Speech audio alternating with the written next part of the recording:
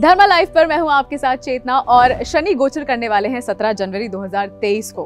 अब शनि महाराज जो है, जब ये गोचर करेंगे कुंभ राशि में तो ऐसे में क्या होगा और किन किन राशियों पर पड़ने वाला है इसका असर, इसके बारे में हम आज की इस वीडियो में जानेंगे। क्योंकि ये गोचर करेंगे तो इसके कारण बहुत सारी उथल पुथल तो मचेगी ही, मगर बावजूद इसके किन राशि विशेष पर ये क्या असर डालने वाले हैं, इसको हम आज इस वीडियो में जानेंगे। ऐसे में आर्थिक नुकसान जो है, वो होगा या फिर कोई और परेशानी आपको आएगी, इसके बारे में हम करेंगे बात। खासकर कुछ राशियाँ, जिन पर बहुत ज़्यादा प्रभाव जो वो पड़ेगा, उसी के बारे में आज की इस वीडियो में हम बात करेंगे।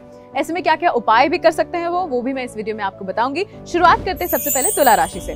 तुले यानी कि लिब्रा राशि अब से आपके ऊपर ढैया का प्रभाव जो है वो रहने वाला है। ऐसे में मानसिक अशांति के साथ साथ काम में भी कुछ ना कुछ अड़चन जो है वो आपको आती हुई दिखेगी। ऐसे में आप क्या कर सकते हैं?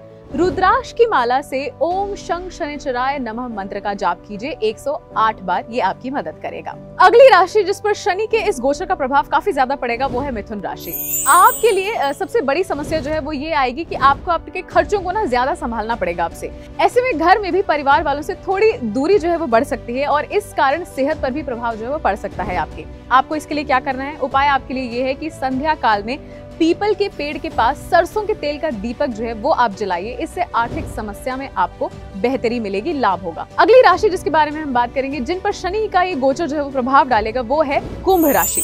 कुंभ राशि आपकी जो साढ़े साथी का जो दूसरा चरण है वो शुरू होने वाला है। ऐसे में आपके लिए थोड़ी सी मुश्किलें जो है वो बढ़ सकती हैं। ऐसे में आर्थिक हानि जो है वो हो सकती है। आपको थोड़ी सी आ, कोशिश करें कि इस समय एक उपाय ज़रूर कर लें। हनुमान चालीसा जो है उसका रोज पाठ करें यही आपको सलाह है।